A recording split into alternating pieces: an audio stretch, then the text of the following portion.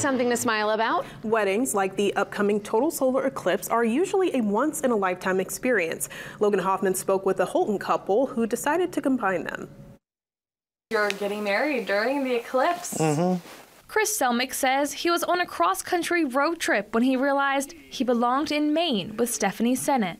I proposed to Stephanie on the front porch before I even got into the house. It was the first thing I did when I got here. I didn't know he was going to do it right right then, like right out of the car. It was cute. Stephanie had a stellar idea. I just thought, oh, that would be such a cool day to get married. I said, absolutely, we can. We can do whatever you want.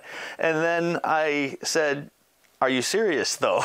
but then he thought about the once in a lifetime experience and was hooked. It just felt like the biggest party in the world. How could you celebrate your wedding in a bigger way than that? So they got right to planning. She will walk down the aisle uh, when we hit full darkness. This wedding dress code requires eclipse glasses.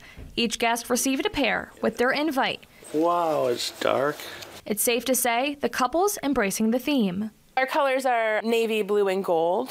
With thousands expected to visit Maine for the eclipse, Getting timing just right is key. I keep thinking, like, what if there's so much traffic I can't get there in the time that we want to start the ceremony? I'm probably gonna feel my heart pounding. But they both agree that the most important part of the day is starting their lives together. I came up here not knowing what I would find, and I found the sweetest girl in the world. Logan Hoffman, WABI TV5 News, Houlton.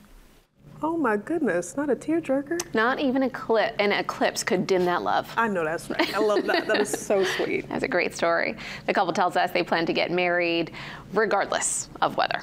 It's amazing there.